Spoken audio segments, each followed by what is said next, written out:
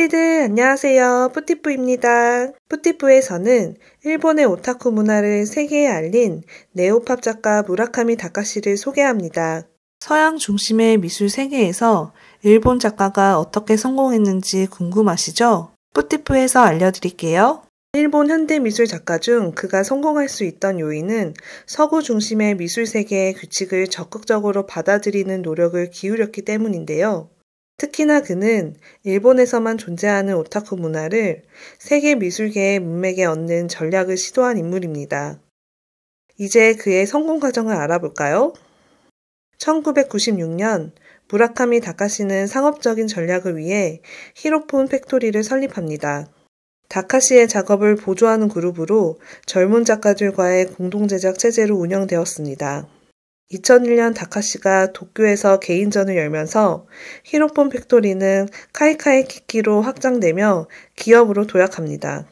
현재 카이카이 키키는 국제적으로 인정받은 아트 프로덕션이자 매니지먼트 회사입니다. 다음 세대 아티스트를 위해 다양한 기회를 만들고 다카시가 직접 후배 아티스트와 협업을 하기도 합니다. Superflat이라는 표현은 그의 미국 진출을 도왔던 블룸앤포 갤러리의 화랑주가 고객들에게 다카시의 작품의 매력을 설명할 때 처음으로 사용되었는데요. 원래는 납작하고 깊이가 없는 현대 문화의 경박함을 나타내기 위해 쓴 용어이며 일본 문화가 세계 문화와 융합하지 못하는 부분을 꼬집은 거죠. 서양 문화의 뿌리 깊은 순수 미술과 일본의 만화나 애니메이션 등의 대중 미디어와의 경계를 타파하는 것을 목표로 다카시는 Superflat 3부작 전시 프로젝트를 선보이며 서구 미술계의 아시아적인 팝아트를 각인시키고 국제적인 명성을 확보합니다. 지금의 Superflat은 예술의 경계를 무너뜨리며 상업 디자인, 일본 만화의 표현, 순수 미술의 심미성 등을 모두 포함하게 된 거죠. 무라카미 다카시는 여러 분야와 콜라보레이션을 진행했는데요. 대표적으로 2003년, 2015년 루이비통과의 콜라보로 4천억 원의 매출 상승 효과를 낸 성공적인 콜라보를 해냅니다. 2007년에는 카니에 웨스트와 공동 작업으로 앨범 이미지 작업을 진행합니다. 앨범 이미지 Graduation은 흑인 힙합이라는 하위 문화를 대중문화인 대중음악으로 편입될 수 있는 작업이었습니다.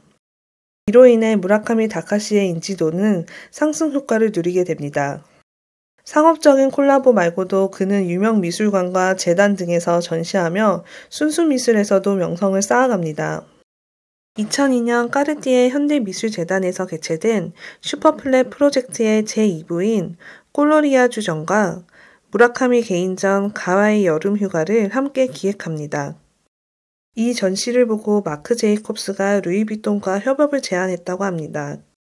2008년 브루클린 미술관 전시를 진행하고 같은 해 로스앤젤레스 현대미술관 contemporary 전시관에서 대형 회고전을 진행합니다. 2010년 프랑스 베르사유 궁전에서 전시를 진행합니다. 2015년 도쿄에서 대규모 개인전을 개최하는데요. 세계 미술 사상 최대로 부를 만한 길이 100m에 달하는 500나 한도를 공개하였고 200여 명이 투입되어 작품을 완성했다고 합니다. 14년 만에 일본에서 개최된 개인전으로 관람객 31만 명을 돌파하며 흥행에 성공했을 뿐만 아니라 일본 대중의 무라카미에 대한 냉소적인 시선을 변화시키는 전환점이 되었습니다. 무라카미 다카시를 사랑하는 이들도 많고 비판하는 시선도 많은데요. 예술을 흐트러 놓고 마케팅에만 능하다는 등 다양한 반응이 있습니다.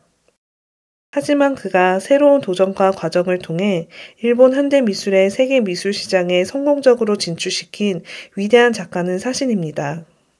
푸티프와 함께 그가 어떠한 과정을 통해 이토록 유명하고 비싼 작품가를 지닌지 알게 되었죠.